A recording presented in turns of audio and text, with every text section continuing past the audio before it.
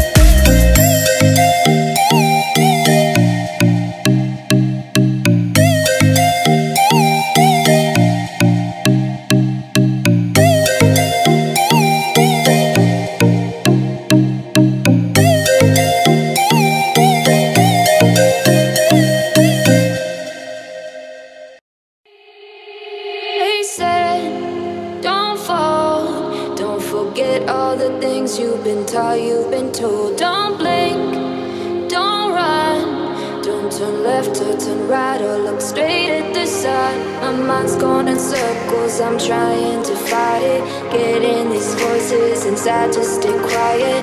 Gone to the place where all this begins.